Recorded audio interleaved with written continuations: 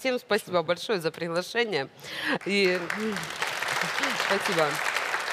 Знаете, вот мы здесь философствуем, а при чем здесь вице-премьер, при чем здесь министр. То если зайти на сайт Министерства культуры, мы с вами четко поймем, что главная функция министерства – это формирование государственной политики в сфере культуры и искусства. И вот эти их посты, где они именно занимаются сегодня расколом и такой демонстрируют деградацию культуры в Украине.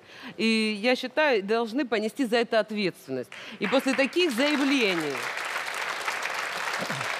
безусловно, и Кириленко, и э, этот министр, который все тут борется за чистоту нации, Нищук, они обязаны просто уйти в отставку, потому что мы считаем это ну, абсолютно недопустимым.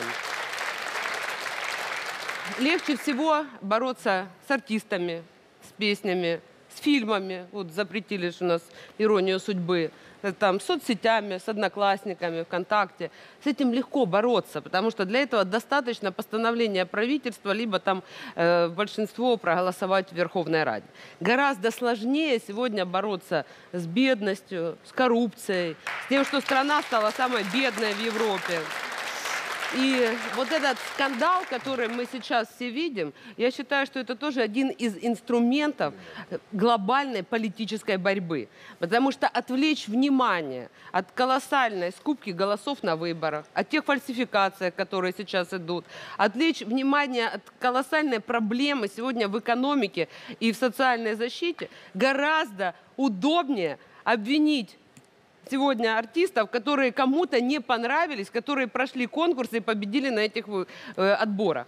И в чем здесь глобальная угроза, я считаю, для нас, как для политиков, и почему мы здесь также присутствуем? Потому что сегодня они решили отменить конкурс э, по Евровидению. А завтра они также решат отменить выборы президентов, если какой-нибудь не такой патриотичный кандидат президенты выйдет в финал, по их мнению. И скажет, Тобто, якщо «Извините, результат когось не влаштує. да, их не устроит результат, они скажут, извините, он ездил в Россию, там, или он там не на том языке разговаривает, не в ту церковь ходит. Поэтому Или это торговался. такой очень серьезный сигнал, который нельзя упустить и, знаете, пропустить, сказать, да, ну ничего страшного, там сами разберутся артисты.